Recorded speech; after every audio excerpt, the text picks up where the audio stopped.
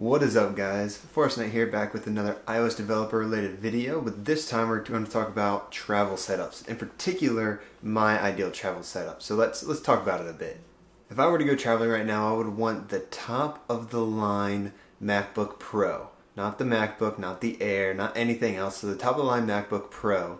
As fast as I can get, probably as much storage as I can get, although I'll have external hard drives, mainly because I'll be doing iOS development as well as video editing. But with iOS development, you still want the fastest thing there is, and why not get it? Except for the whole money issue. That will run you probably $2,500 unless you get upgraded storage and CPU. Instead of 2,500, it'll cost you about $3,200.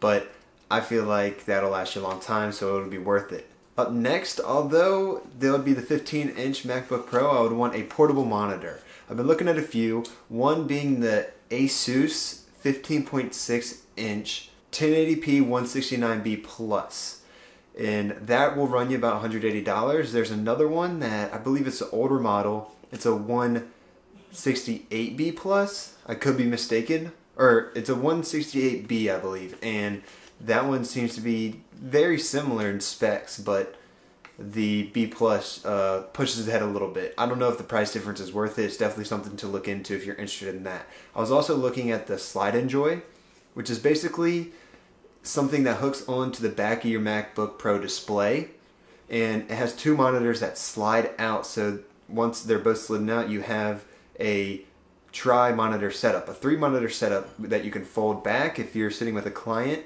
face to face. A client could see your, you know, one of your displays behind, and you could see your display ahead. Or you could set it up as a triangle. It make it look pretty cool if you're at a conference, like a conference table type deal.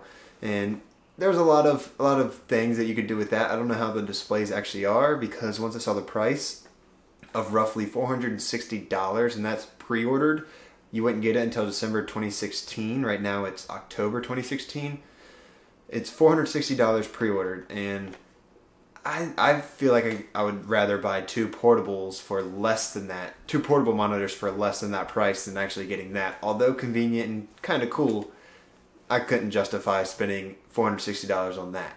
Along with those, I would want a Mac stand. So basically, it's a stand where you put your MacBook Pro up. So it's essentially just running as a computer and a monitor. You're not going to use the keyboard or trackpad at this point. I was looking at two one was recommended to me because I was talking about having a traveling portable setup. And one company called Roost, they have a laptop stand for the MacBook Pro or for any laptop, but in my case, the MacBook Pro.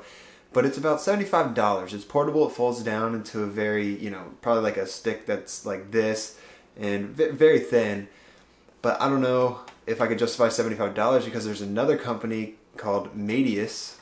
Not sure if I pronounced that right. I'll put it on the screen and they have an iRizer stand. That's what they call it, and that's only forty dollars. But it also folds up instead of being like a pole, it folds up like your you know flat like your portable monitor or your MacBook. So I feel like that would fit better in your bag with the things I just listed with your monitor and with your MacBook. I feel like having a stick in there would kind of kind of mess it, you know, it, wouldn't be as symmetrical as you'd like. If you just had a really thin little stand that you could fold up and put in there, I feel like it would be better. And for cheaper, something to look into. Since you're going to have that up on the stand, you're going to need a keyboard and a mouse. For keyboard, I was looking at something thin that is easy to travel with. So there's two in mind, well, three in mind. One being the Magic Keyboard by Apple, but that's $100.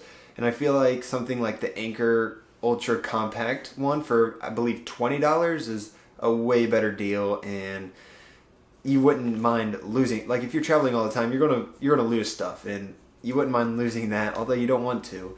There's that but there's also a company called EC Technology who make a trifold keyboard. This is $35 i saw a review on MS Tech's channel recently and I must say it's pretty cool. Of course, on these compact, you know, thin travel keyboards, all the keys are going to be pretty close together, but I feel like that would be easy to kind of adjust to. And I feel like I'll probably end up going with one of those two. A really cool one is the Oreo, Oree, I don't know how to pronounce it, by Oree Artisan. But they make wooden keyboards, wooden trackpads. It's really, really cool company and all of it's wooden, of course you have the electronic components inside and although it's really, really cool. I know I have quite the vocabulary. Cool, cool, cool. But it's $130. If you want a leather case, it ranges from 30 or $50 because that'll be recycled or genuine leather uh, case for it, respectively. So $30 for the recycled and $50 for the genuine. And on to the mouse.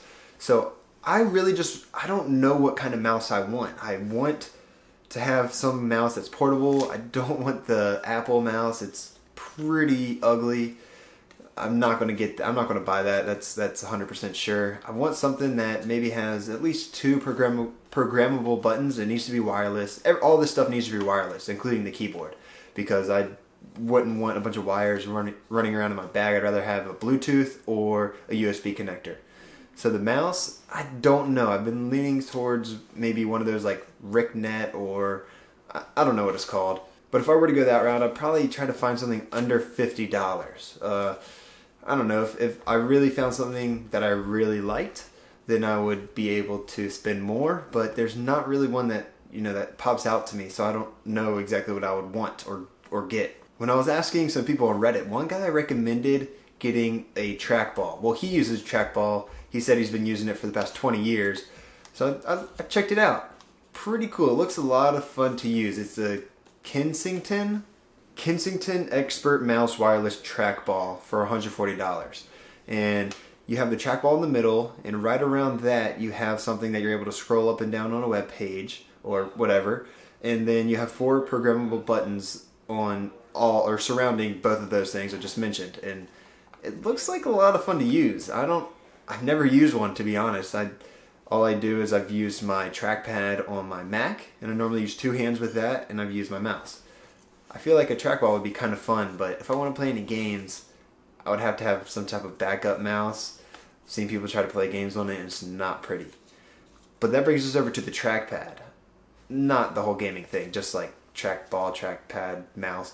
A trackpad, I mentioned the Oreo, their trackpad, they have a wooden one don't know how they did it, but it's really cool. So that is is $150. Don't know if I get that. I understand most of them are expensive. There's one that's I believe it's the Apple Magic 2 for $130 and then the Apple also has the Magic and that's like $65 wherever you can find it, give or take 5 bucks or so. So if I were to go trackpad, I don't know, I feel like I'd go trackball before trackpad, but I feel like I'd rather have a mouse before all of those. So it'd probably be mouse if I find something I like that trackball I mentioned, and then trackpad. So if you have a mouse recommendation, link it below. And for the record, everything I mentioned in this video is going to be linked in the description box below. So if, in case you want to check it out on your own, it's down there. So right now we have our laptop, we have a laptop stand, and we have a portable monitor, or two, who knows. And then we have a keyboard and a mouse. We're pretty set on that, but I would also like to have some type of USB hub slash card reader. So I have an Insignia 3.0 uh, card reader right now, but what would be really convenient is if that card reader had USB ports, and I know there's companies who make that. So I know I, I found one called Sabrent for $20, and I believe I saw this on another MS Tech video. I like to watch MS Tech videos, what can I say? But the Sabrent has three USB ports and it can take my SD card. It takes a few other cards, but the only thing I ever use is my SD card for my camera here. And I think that would come in handy. You know, it's pretty compact, pretty sleek looking for wherever you set it up. I would need something something along those lines. And then finally, since being an iOS developer, you need to test your apps on devices, not just on the simulator. I would want an iPhone stand. So if I'm sitting at my desk, I have my keyboard, mouse, laptop on a stand, and my portable monitor. But I would also like to have my phone sitting right there as well in case I want to test on it or just so it's not sitting on my desk or in my pocket. It's just a nice display, whether that be a docking station or a stand, I don't know. If it were a docking station, I saw this really cool uh, Native Union docking station that I, I really like, but it's it's uh, about $60, I believe. I could be mistaken.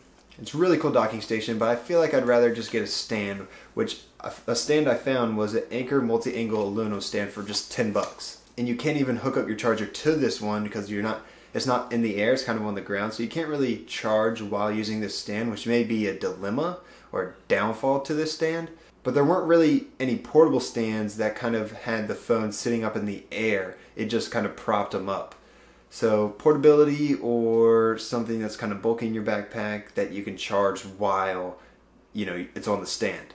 I don't know. You have to figure out for yourself. I think I'd rather just get the portable one and charge my phone at night. Or if I needed to charge my phone there, I'd put it sideways. Who knows? I don't know. I figured out. So that's it, my ideal traveling iOS developer setup that hopefully will be put into use by me in the next two years. And until next time, have a good one.